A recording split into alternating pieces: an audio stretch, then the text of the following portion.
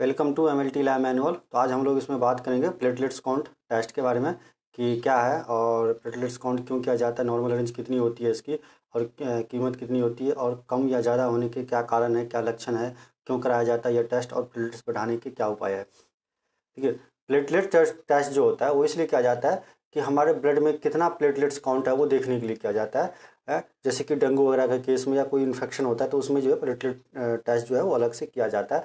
वैसे ये CBC test के अंदर ये टेस्ट जो है ऑलरेडी इंक्लूडेड होता है प्लेटलेट्स काउंट होता है ये तो अलग से कराने की ज़रूरत नहीं पड़ती है। प्लेटलेट्स क्या है?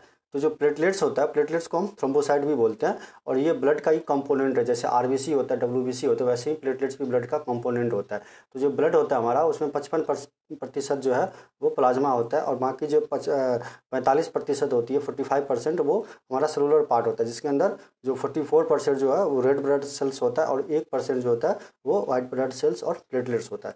तो ये सबसे छोटा जो ब्लड सेल्स होता है, और इसका जो साइज़ होता है इरेगुलर होता है। जो माइक्रोस्कोप में देखने पर इरेगुलर साइज़ का ये दिखता है, यानी कि उसको ओवल शेप होता है वैसे, और इसमें न्यूक्लियस नहीं होता, इसका जो साइज़ होता है, तीन से, दो से तीन माइक्रोमीटर का होता है, और इसका जो लाइफ स्पेन होता है, वो आठ से दस दिन का होता है, यानी कि आठ से दस दिन बाद जो है अपने आप जो है डेड हो जाता है, और फिर नया सेल बनता है और बोन मेरो में जो है प्लेटलेट्स वगैरह बनते हैं, यानी कि ब्लड का निर्माण जो होता है बोन मेरो में होता है तो प्लेटलेट्स का भी निर्माण जो है बोन मेरो में होता है हमारा।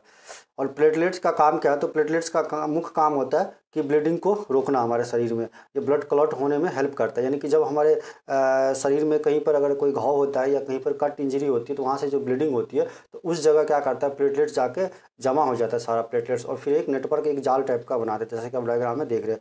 फिर वहाँ पर एक जाल बना देते जिससे कि जो अंदर का जो ब्लड होता है, उसको रोक देता है बहने से। ब्लीडिंग होने से रोकता है। तो वो काम होता है। ब्लीडिंग जहाँ पर इंजरी साइट होता है, वहाँ पर प्लेटलेट्स क्लम्प होकर के वो ब्लीडिंग को रोकता है ब्लड को क्लॉट होने में हेल्प करता है। तो नॉर्मल प्लेटलेट जो है कितना होना चाहिए? तो नॉर्मली हमारे शरीर में जो है डेढ़ लाख से चार लाख जो है पर माइक्रोलीटर प्लेटलेट जो होता है, होना चाहिए काउंट डेढ़ लाख से चार लाख प्लेटलेट्स काउंट होना चाहिए। यह कम या ज़्यादा होने से कई सारी बीमारी हो सकती है, जैसे ब्लीडिंग डिसऑर्डर क्लोटिंग डिसऑर्डर या स्ट्रोक वगैरह, है, ये होता है। और यदि किसी व्यक्ति को बीस हज़ार से कम प्लेटलेट्स है तो फिर उसको प्लेटलेट्स चढ़ाया जाता है अलग से। और यदि बीस हज़ार से कम, दस हज़ार से कम होती तो फिर उसको जो है ब्लीडिंग वगैरह होने लगती थी, मुँह से, नाक से, खून से खून निकलने लग जाता।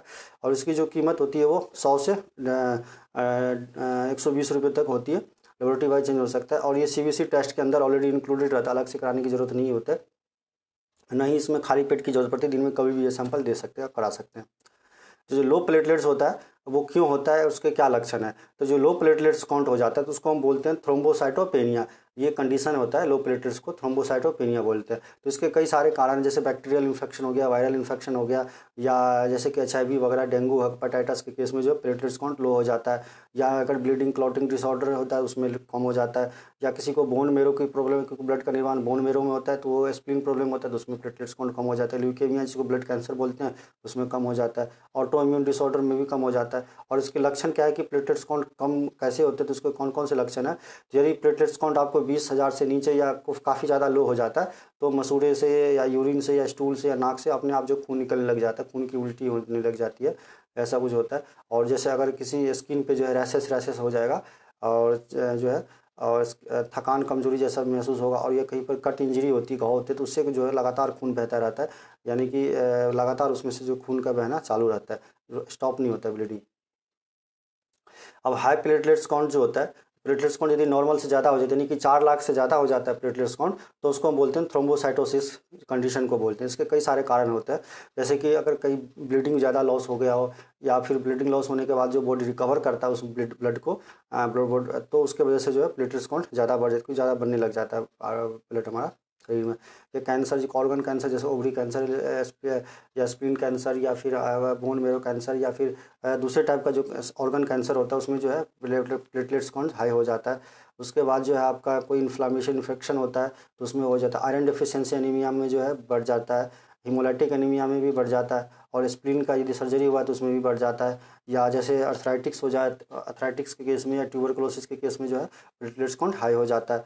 और यदि सर्जरी हुआ है और उसको ब्लीडिंग लॉस सर्जरी या इंजरी हुआ है और ब्लड काफ़ी ज़्यादा उसको लॉस हुआ है या ब्लड शरीर से निकला हुआ है, फिर जब बॉडी उसको रिकवर करने की कोशिश करता है तो उसमें प्लेटलेट्स काउंट ज़्यादा हो जाता है, फिर और उसके कई सारे लक्षण है। कि प्लेटलेट्स कौन ज़्यादा हो जाता है तो क्या होगा कि प्लेटलेट्स ज़्यादा होने से जो ब्लड जो होता है वो गाढ़ा हो जाता है। और गाढ़ा होने से क्या होता है ब्लड जो क्लॉट हो सकता है। तो इसके वजह से क्लॉट होने की वजह से ब्लड का जो फ्लो है, रुक सकता है, जिसकी वजह से जो हम कई सारी समस्याएँ स्ट्रोक वगैरह हो सकता है।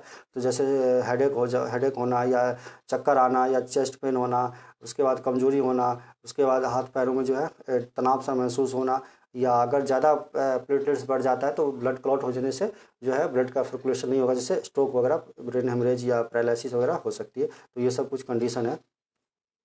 तो दोस्तों, अगर मेरा ये वीडियो आपको पसंद आए तो प्लीज़ इसे लाइक सब्सक्राइब और शेयर ज़रूर कीजिए। तो अगर आपको प्लेट अगर किसी व्यक्ति का प्लेटलेट्स काउंट जो है कम हो जाता है तो उसके लिए जो बढ़ाने के लिए है कि आपको जो है पपीता लेना है, पपीते का जू जूस लेना है, पपीते के पत्ते का जूस लेना है गिलोई लेना है या चुकंदर वगैरह ज़्यादा से ज़्यादा खाना है लिक्विड चीज़ ज़्यादा लेनी है नारियल पानी वगैरह ज़्यादा पीना है तो इससे क्या प्लेटलेट्स काउंट बढ़ता है लिक्विड चीज़ें लेने से। तो आगे के वीडियो में ये बताऊँगा कि प्लेटलेट्स काउंट बढ़ाने के क्या उपाय है।